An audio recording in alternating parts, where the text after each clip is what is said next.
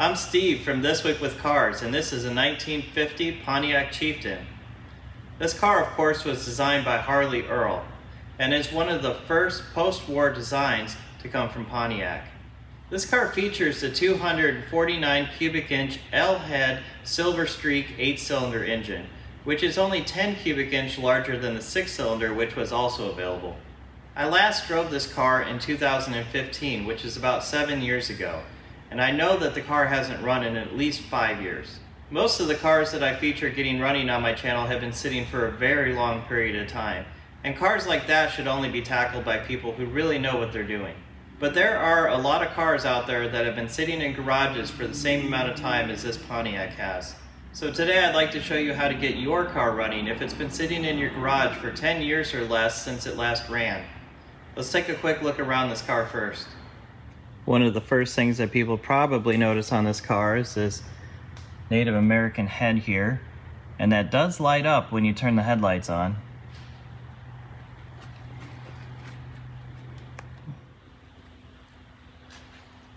That says Silver Streak 8.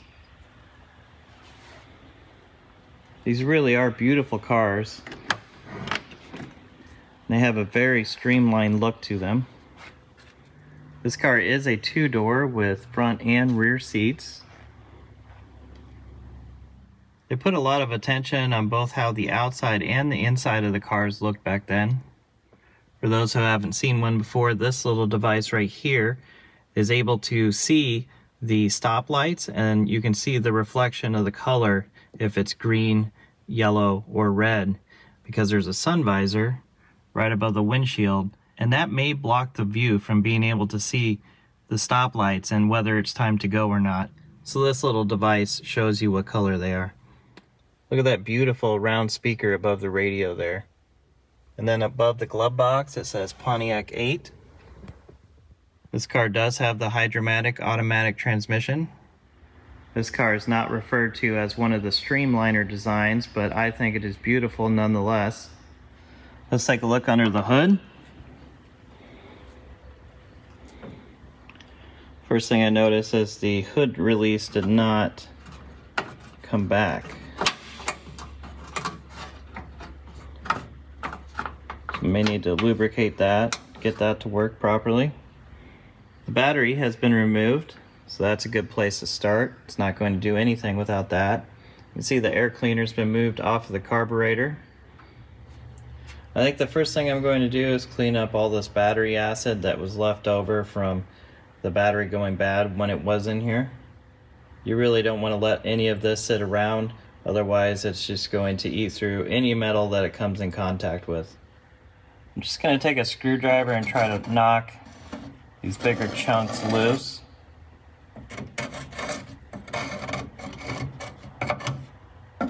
Be careful when there's this much spilled battery acid that you don't go ahead and use a wire brush right from the start because it may aerate this, get it all in the air. You really don't want to be breathing this or getting it into your eye.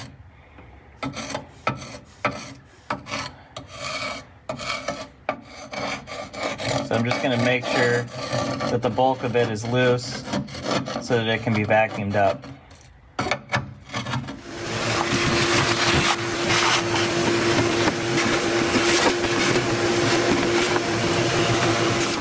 I have here is a solution of baking soda and hot water. I'm to take this nasty cable and dip that in there. And if you could see that, it's just dissolving all the battery acid off the end of that cable.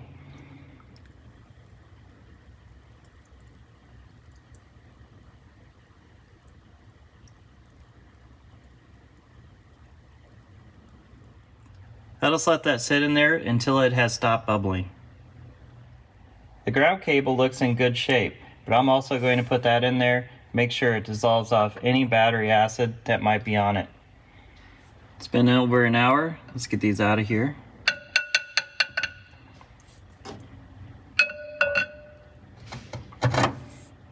This one looks like brand new. Pontiac switched to negative ground on their cars in the 40s. So this is a negative ground car. The battery bracket has received the same treatment as the cable ends. I've soaked this in water and baking soda in a big container.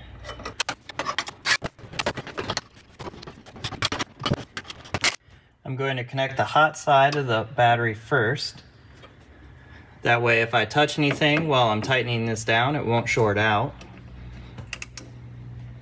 Now I'll take the ground, I'm just going to touch it for a second to the battery. Make sure that there isn't any big sparks, letting me know that there's probably an electrical issue and I shouldn't have the battery connected, but I'm not seeing anything at all. Let's turn the ignition on, see if anything happens. Okay, you can see the fuel gauge went up. And there's no smoke or sparks coming from the car, so that's a good sign. I'm gonna turn it back off. Before you go to start your car, you should check, make sure you have coolant in it. There is some coolant in here, way down there. You can see some evidence that the radiator might be leaking at this point, so I think the coolant level is down right here and it might be leaking out of the front here.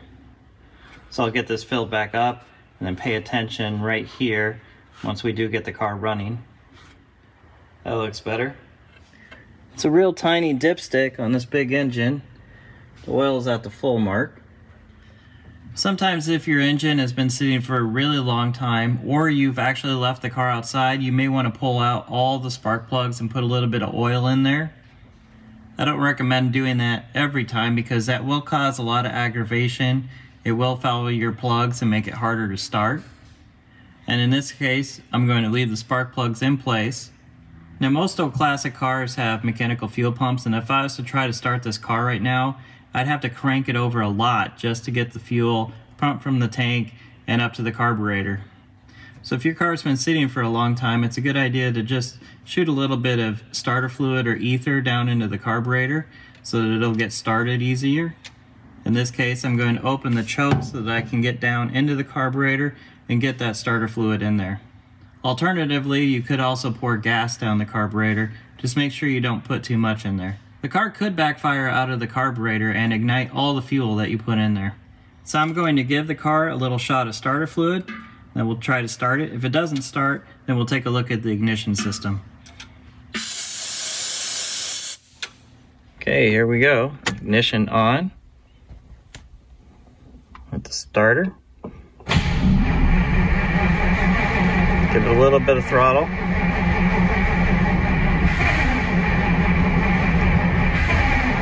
Hearing it trying to start, so it does have ignition. I'm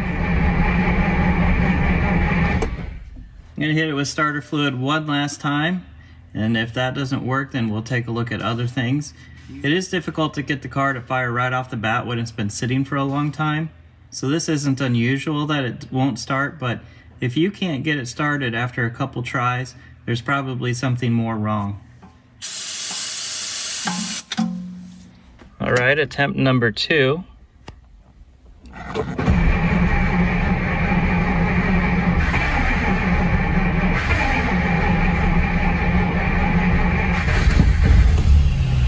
Ooh, close. Okay, it's not gonna start. Let's take a look at the ignition system. With your car just sitting around, your ignition system is one of the first things that's going to go bad. It doesn't look the best. You can see there's a lot of corrosion on those pins. The rotor itself looks in very good shape. So I'm going to take my Dremel tool with a wire wheel and I'm going to clean up the inside of the distributor cap. I like to get the car running with what it's got, just taking notes of what I might want to replace, such as a new distributor cap on this car. If you wait for each single part to arrive, you may never get the car running. That would take a lot of time and you may not get back to it.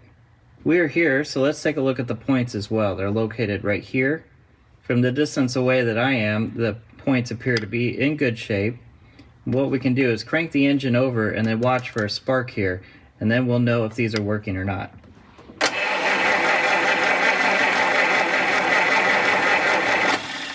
What I saw is that the points were working, these were opening and shutting, and you saw sparks happening, but it wasn't consistent.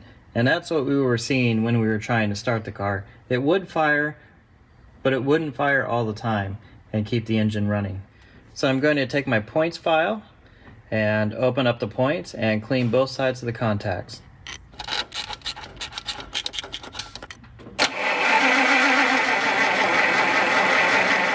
That was a lot better. I'm going to put everything back together and we'll try to fire the engine again. I'll give it a little shot of starter fluid again.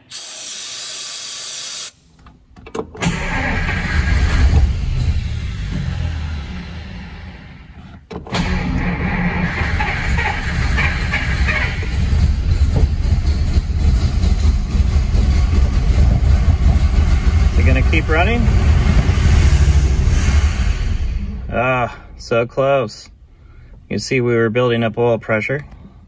But it sounds like it's only running on the starter fluid, so we may not have fuel yet. Let's go take a look at that and see if there are any issues. The fuel comes from the fuel pump up to the carb on this line right here. So I'm going to take this off and see if we have any fuel up here yet. There's absolutely no fuel coming out of the end of this pipe. So the fuel pump either doesn't run or it needs primed. So let's try priming it first. This hose right here is connected up to one of my fuel drip tanks. So I'm just going to connect that up, turn the fuel on, and fill this line full of gasoline, which I hope will in turn prime the pump. Now I have this line full of fuel, I'm going to crank the engine over and see if any fuel squirts out here.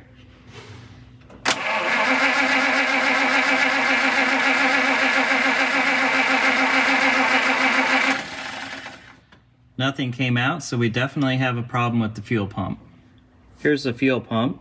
The fuel comes from the fuel tank through this hose here, into this filter, and then into the pump. This pump not only pumps fuel, but it also creates a vacuum. And this upper portion is the vacuum pump that runs the vacuum controlled wipers.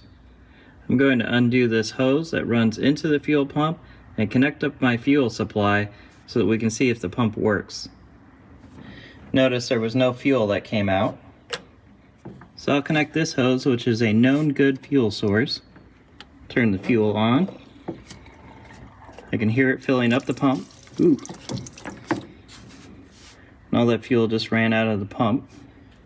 With the fuel running right out of the pump, now we know we need to take this off.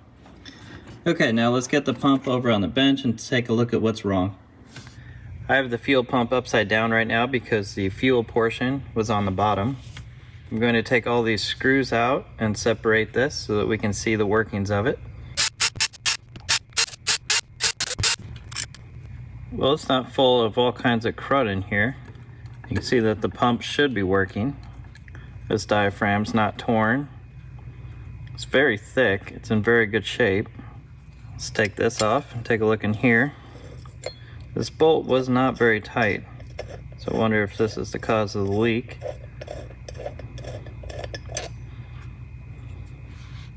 Oh, look at that. The seal has shrunk. So that would obviously cause a very big fuel leak right there. These are probably not readily available. So I'm going to make a new one out of cork. I already had some cork circles, so I'm going to trace this out.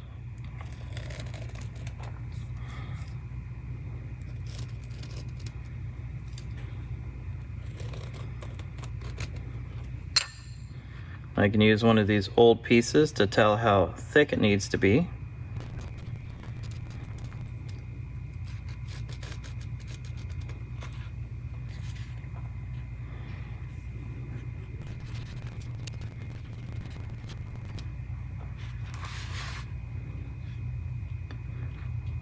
There we go. Well, this bolt has a sealing washer right here. So need to make sure that that is tight enough that the bolt squashes down that washer and creates a seal. Now I'll put these back together. Looks like the spacing is symmetrical. So you have to be careful about how you clock this putting it back together. I'm going to get two of these started hold this together against that spring.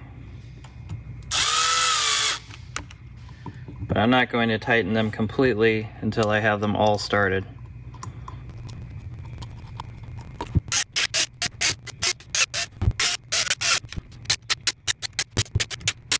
The pump should be ready to put back in the car now, but I'm going to test it first before I do that. Hook up the fuel here. I'm gonna plug this in with my thumb. I'll turn on the fuel. Right, the fuel's on. I don't see anything leaking this time. Take my thumb off. You can hear the fuel going into the pump there. Okay, there it is. And it is not leaking. It's ready to go back in the car. The fuel pump is connected back at the carburetor.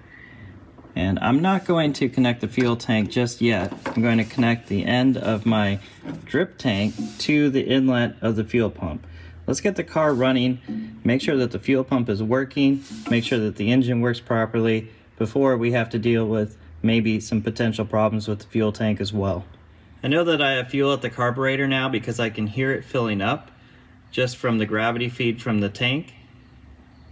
But I'm going to give it a little hit of starter fluid just to get it going.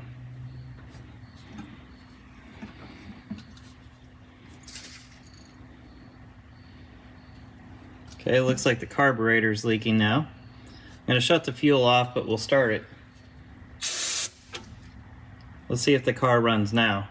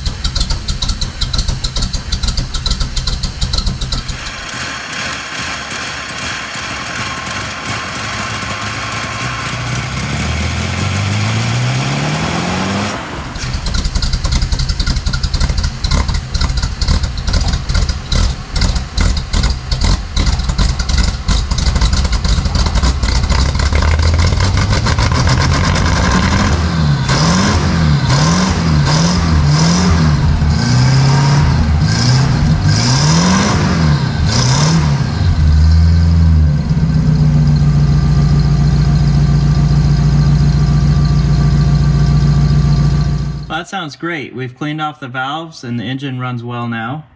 It could be that the car has sat for so long that the float valve was stuck. Sometimes if you just let the car run for a little bit, that will work itself out. Let's hope that's the case this time. I'm going to turn the fuel back on and we'll test that.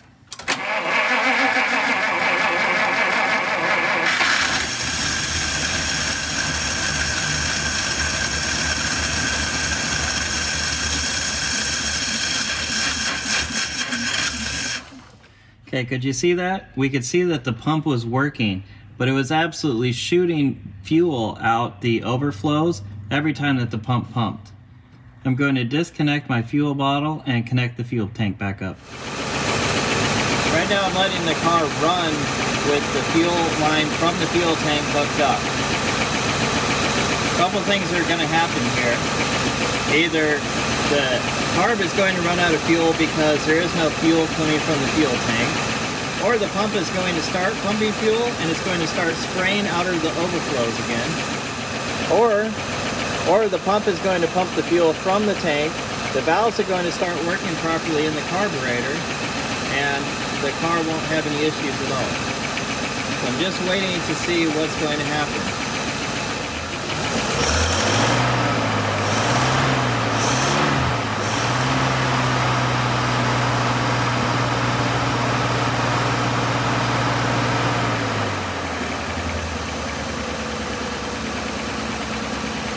It seems like everything's working. I would have thought that the car would have died by now. It could have been that the pressure caused by the gravity of the fuel in my fuel bottle combined with the pressure created by the pump may have been too much for the valves and the carburetor. And now that we're running only on the pressure created by the fuel pump, everything looks to be fine. I think it's time to take it for a test drive and see how it runs. All right, let's give this a go. Hope I don't need to call a tow truck to bring me back. Engine sounds good. Make sure that the brakes hold me against the engine. I'm just gonna stay on the brakes and rev it up a little bit. Make sure that the brakes hold. They do. If your car's been sitting for a long time, you always want to make sure that your brakes are working before you go out on the road. This one seems to be doing just fine. Should have cleaned the windshields before I left. You'd really see the dust on there with us going into the sun.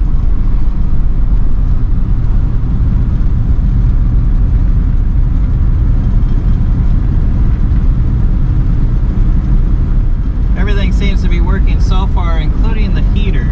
It's getting quite hot in here. Turn that off. The oil pressure looks good. The charging system appears to be working. Engine's coming up to temp. It's almost up to 180 now. There's a lot more traffic than usual in my town today because there's a big college football game going on.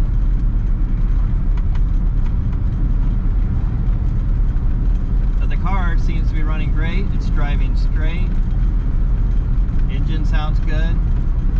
Everything on the gauges looks good.